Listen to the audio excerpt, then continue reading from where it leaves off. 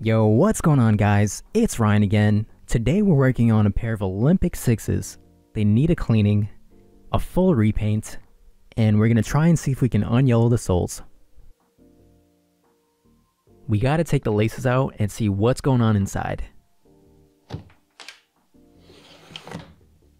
We can put the laces to the side for now, and I'll show you how to get them back to white. The insides were dirtier than I was expecting, and there was just so much hair inside too. As you can imagine, we're gonna use the laundry method. They probably never got a deep cleaning. Using our scissors, we can cut right through this.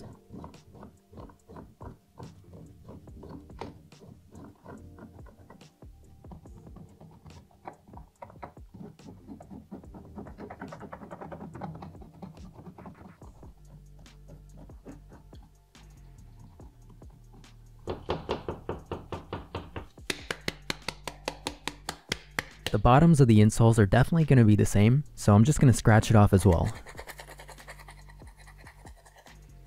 And this is what we ended up with. The cleaning process is really straightforward. Soap and water for the uppers, and OxiClean for the mesh.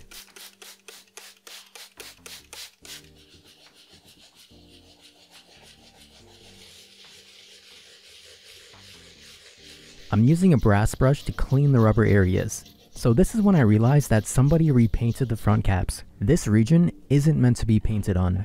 Eventually the paint's gonna crack or peel off.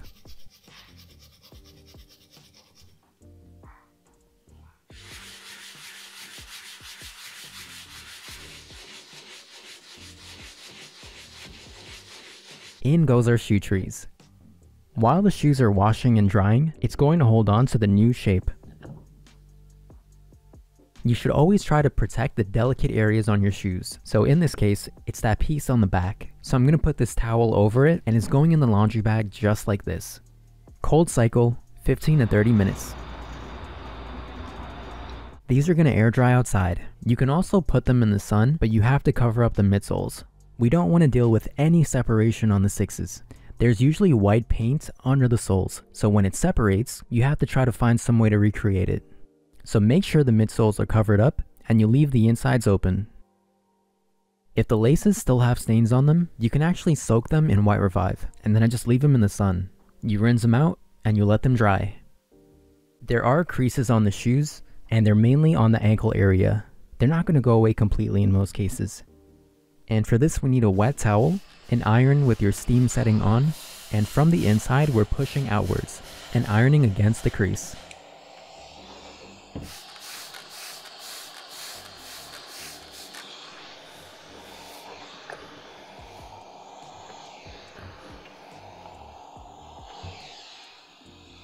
These midsoles need to be completely repainted, and my preferred method is to use a paint stripper called Dad's Easy Spray. I'm going to apply around 3 coats and wait around 3 to 5 minutes in between each coat.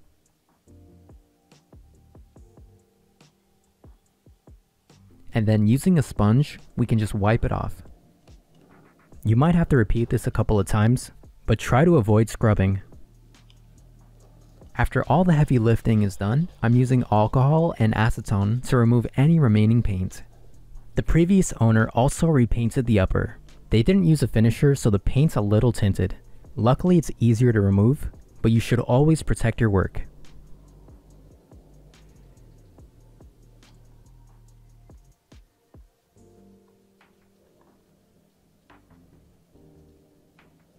While we're on the topic, we might as well clean the fronts as well.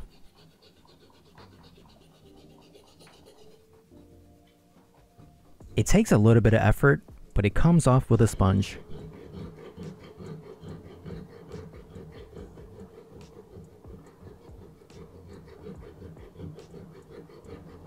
The midsoles are cleaned to our best advantage. Now let's lay down the white paint. The uppers could use some fresh paint as well, and I'm going to paint on 1 to 2 light coats. The blue uppers were in good condition, so I decided not to paint it.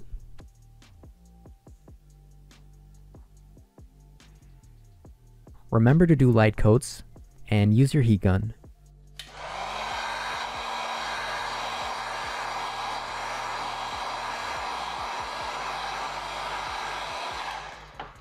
I noticed there was a pretty deep scratch on the back, so to fill it in we can just use leather filler, let it dry, and then sand it down.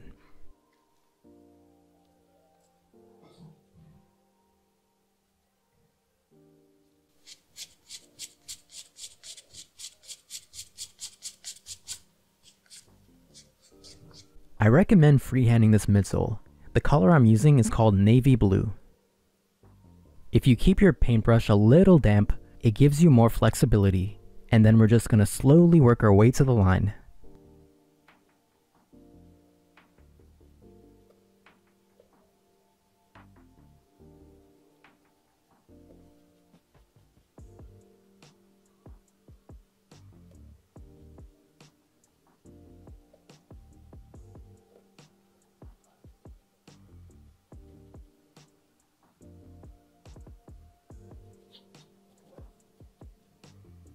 The angle was pretty crazy so I had to do it off cam, but it's very straightforward.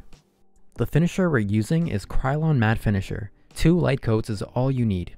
You might notice on the Jordan 6s that the heel area is what cracks the easiest, so make sure you go light on the finisher. I'm gonna let this fully air dry outside, and then I'll clean up all the spills afterwards. The last major step in this restoration is to try and unyellow the soles, and I'm also doing this on the front part. I'm using Salon Care 50 and saran wrap. These shoes are extremely worn down as you can tell, so at some point they're gonna hit a ceiling. I'm aiming for around 40 hours on this. We have some minor steps left. Every time you do repaints, you should poke out the thread holes. It's going to make your work look more factory. There was minor separation on the shoe. Luckily, it's not in a problematic area and I'm using Barge Superstik. For these, we can just clean the area, apply some on on a q-tip, peel off the tape, let it dry for around 10 minutes or so, heat activate it,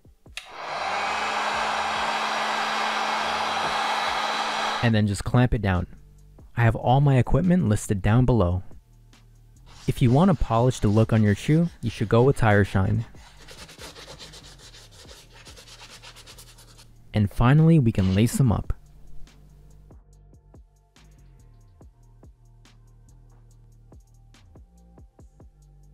And that's all there is to this restoration.